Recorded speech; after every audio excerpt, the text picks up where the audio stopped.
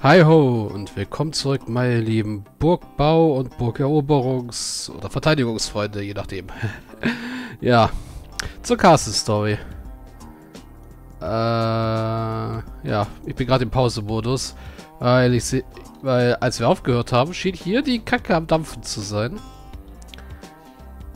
Hier sind Gegner, da sind also du bist ein großer. Was bist du? Bist du auch ein großer eigentlich? Also du bist ein großer Böser und du bist, glaube ich, ein normaler. Und ihr da unten seid kleine und normale. Hm. Ja, gut. Der eine Bricktron hier, der wird nicht überleben. Nein. Wird er auch nicht.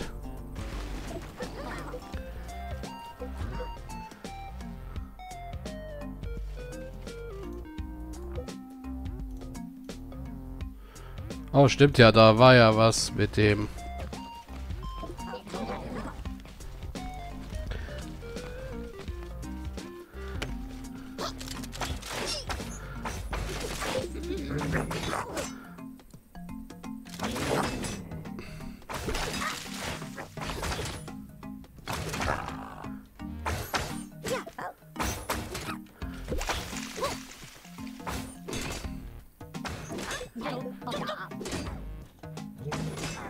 Ah.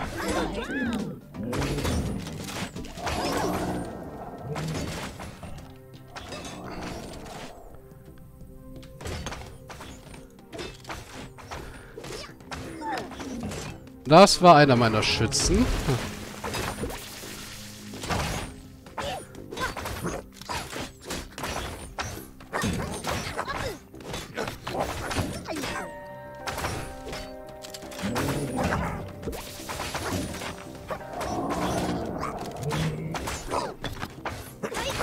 Ich glaube, wir werden sterben.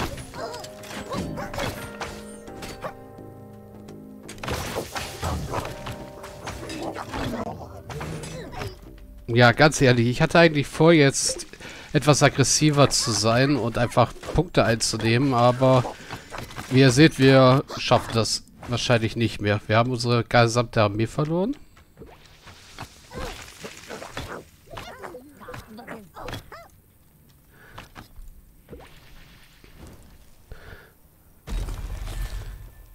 Die nehmen immer mehr Punkte ein. Ja. Ich würde sagen, wir brechen hier mal dieses Spiel ab. Hm. Zurück zum Hauptmenü, bitte.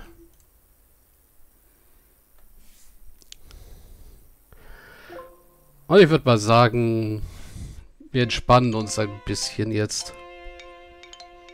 Indem wir mal wieder freies Bauen nehmen. Also die ganzen Spielstände, die ich hier habe.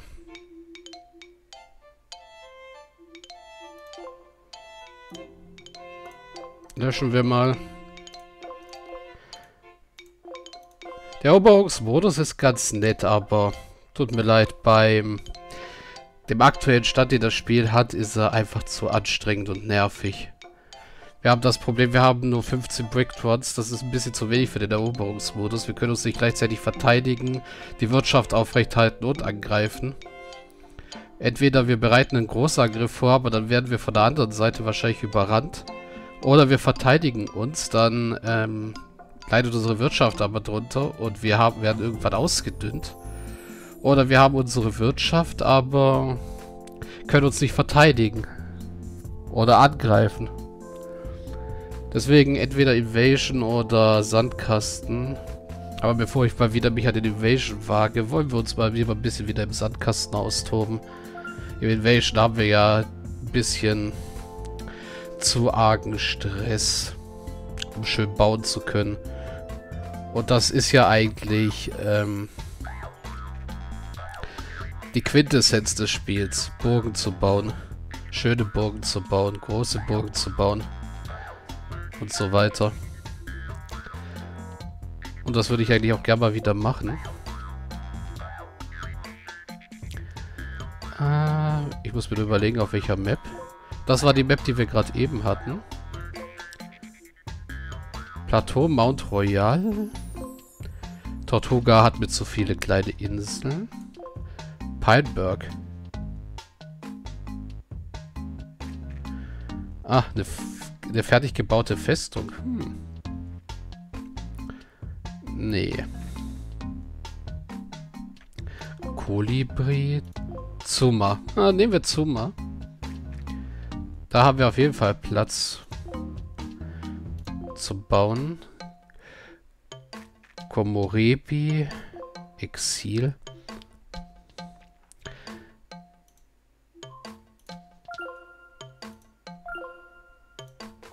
Äh, gehen wir mal kurz zurück. Eroberung. Hatten wir Dings genommen? Ähm.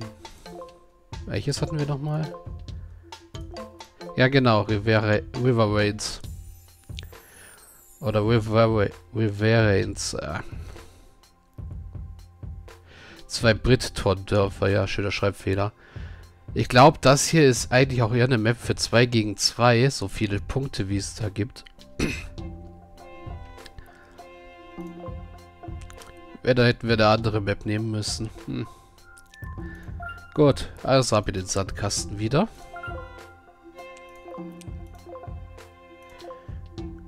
Stepping Stones. Invictus hatten wir schon ein paar Mal. Kolibri. Nehmen wir einfach mal Zuma. Oder was haben wir noch? Rosy Valley. Exile Nova. Ist mir ein bisschen zu groß. Quasar. Hat hier komische gelbe Sachen. Kairos. Big Island. Apex. Und Troubled Heaps. Die Karte von Version 0.2. Eigentlich hätte ich gerne, weil... Ich probiere mal den Pioneer Pass aus. Da eine Wüstenmap. Das sieht nämlich auch mal nach Abwechslung aus. Eis, äh, Schneemap mit Helix hatten wir ja schon mal. Und mit Quasar hätten wir eine Mischung aus Eis und Grünfläche. Aber nee, nehmen wir mal Pioneer Pass.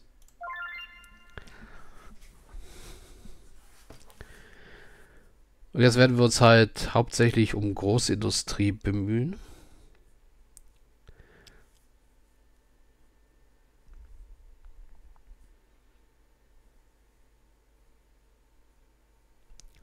Ich muss zugeben, das Spiel hat sich seit der Alpha, die ich damals gespielt habe, oder dem Prototypen, ich war ja Baker, das habe ich ja schon mal erwähnt, äh, schon sehr gemausert. Weil damals gab es kein Eisen, damals war Glowstone, also das, was hier in der deutschen Version Schwefel heißt, nur dazu gut, um es in Fässer zu packen.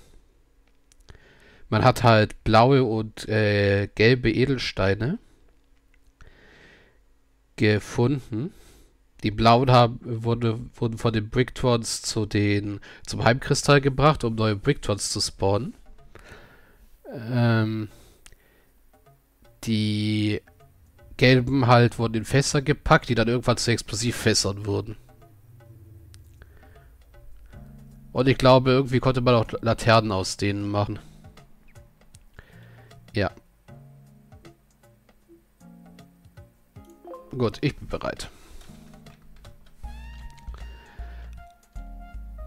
Ah, das ist schon mal ein bisschen doofer Startpunkt, aber ist okay. Nichts zu tun, ja.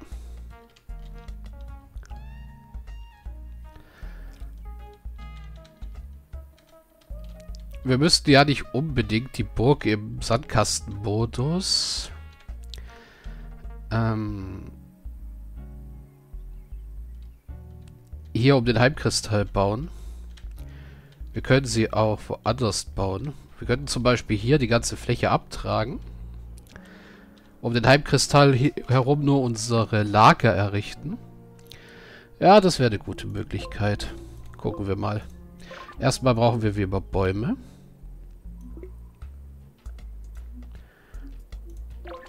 So. Dann brauchen wir einen Hackblock.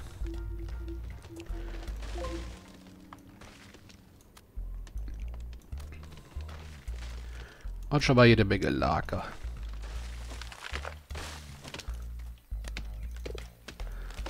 So.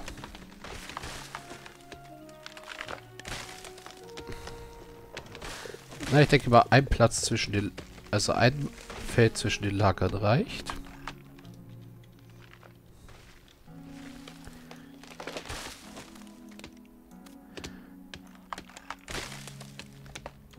So, wie gesagt, ich plane jetzt schon mal im großen Stil. Dass wir Platz haben. Wir brauchen nämlich sehr viele Steine. Und sehr viel anderes Zeug.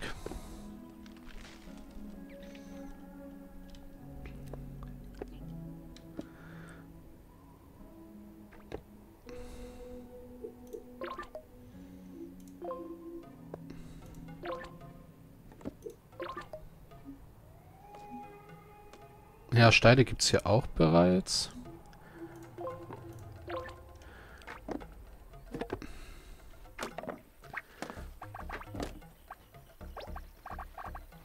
So.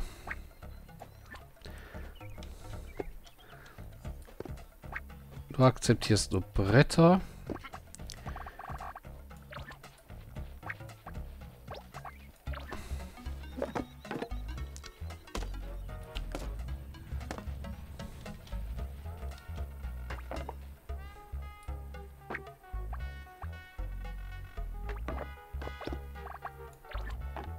Akzeptierst erstmal auch nur Bretter.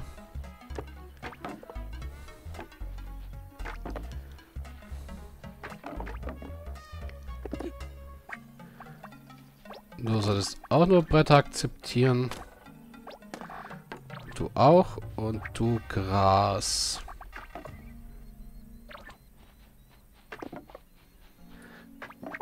So, ihr akzeptiert Stein.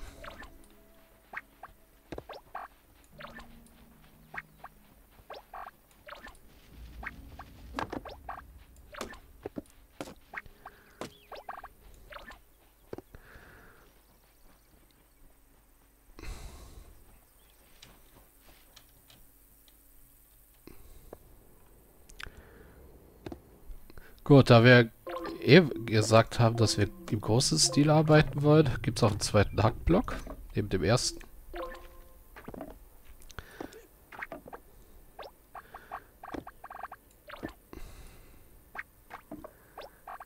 So. Steine, Steine, Steine. Gras.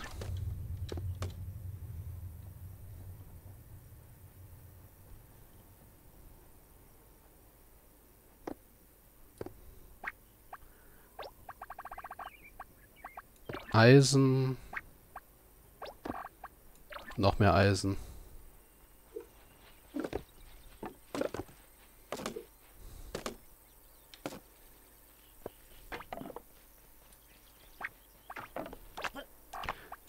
Noch mehr Eisen.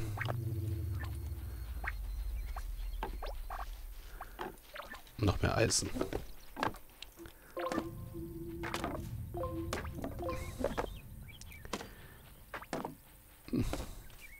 Nee, welche die Holz akzeptieren, brauchen wir jetzt nicht unbedingt.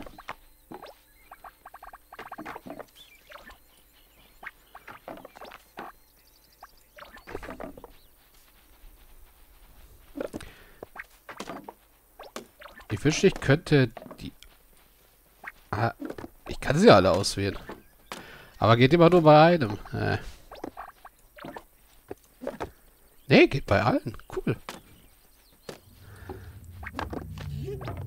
Äh, Eisen hier.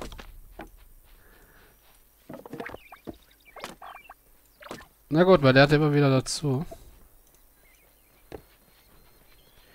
Die sind alle... Ja.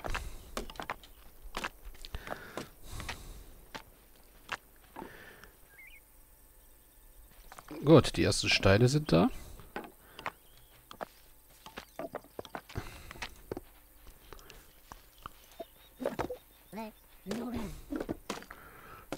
Du nimmst das mal da weg. Bringst es dahin.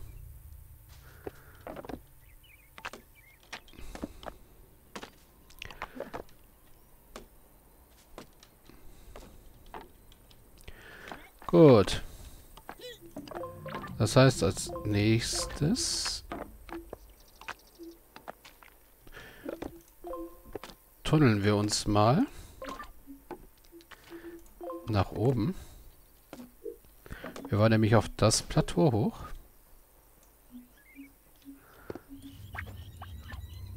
So. Und dann... Hoppala, jetzt habe ich das abgerissen. Mist. Machen wir es so.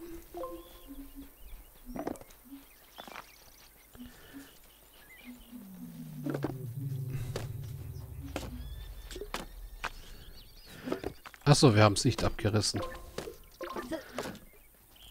Der Tunnel ist da. Gut.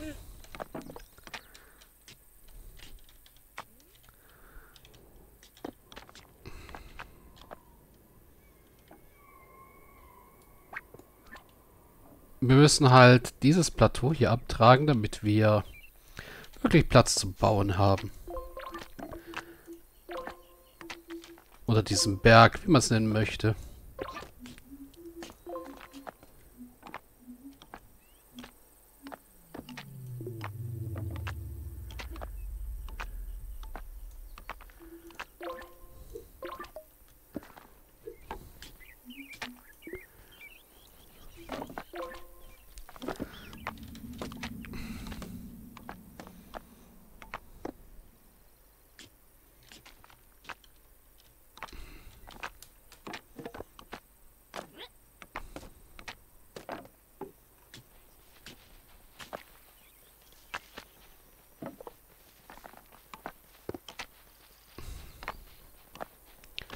Und ja, wir werden auf jeden Fall für Steine noch weitere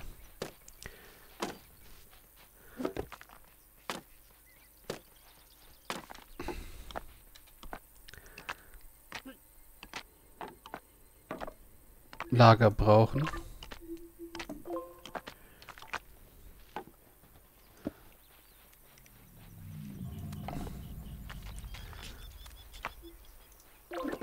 So, die können wir leider nicht, äh, nicht im Vorfeld auswählen.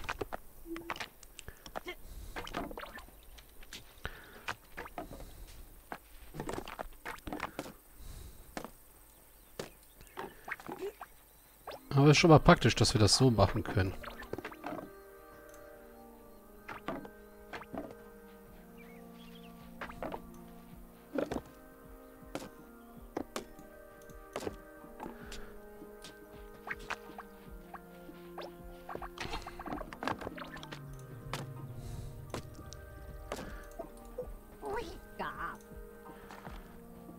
Ne, hier wird kein Holz abgelagert.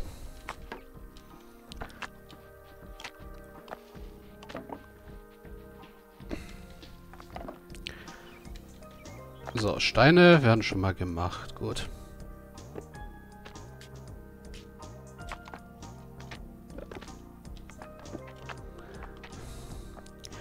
Wir sollten eigentlich gucken, dass wir die drei umliegenden Dinger einnehmen, damit wir schneller Bricktrons kriegen.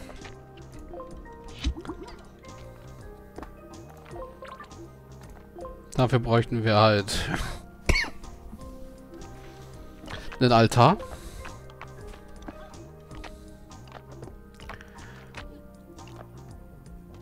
Und ich habe gar keine Ahnung, was ein Altar kostet. Ah, ein Stein, Holz. Äh, ist das Glas oder Eisen jetzt? Sieht nach Eisen aus. Ja, ist Eisen.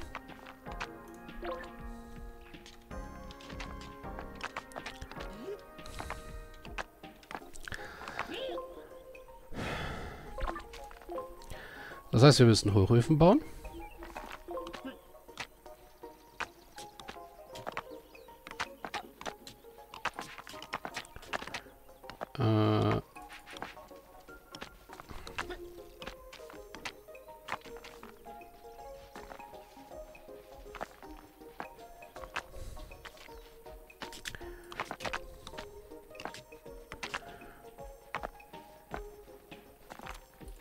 Ja, doch, so dürfte das gehen.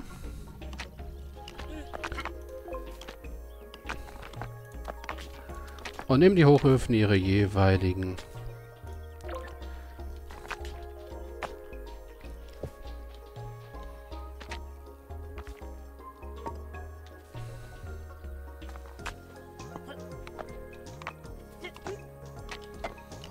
Gegenstücke, also ihre Lager.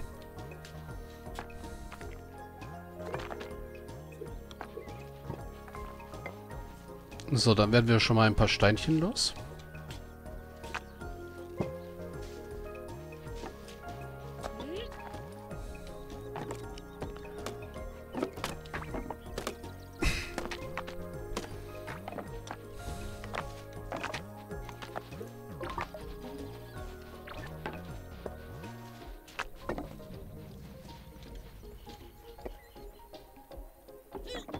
Ich sehe schon, wir brauchen noch mehr La Steine für Lager für Steine.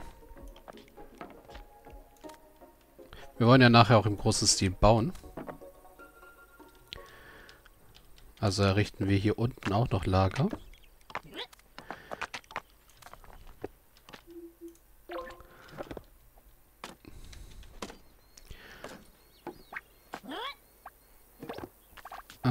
da kommt Eisen drauf eigentlich. Und da sollte eigentlich Glas drauf kommen.